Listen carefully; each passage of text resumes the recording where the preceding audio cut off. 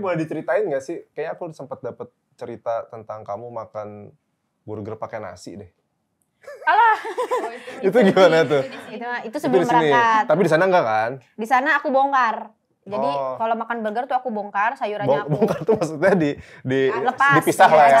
Iya iya iya. Jadi yang Kesannya motor dibongkar. di, dimakannya dagingnya. Oh, oke. Rotinya dikit gitu. Terus kalau Widi? Aku mah paling aduh toiletnya sih. Masalah aku toiletnya. Jadi aku tuh eh kalau di luar nih, aku tuh nggak bisa. Aduh, malu malu. aku tuh nggak bisa pup di luar, harus di pokoknya harus di hotel. Soalnya la- harus sekalian mandi. Gak bisa kalau nggak di luar, nggak bisa tuh.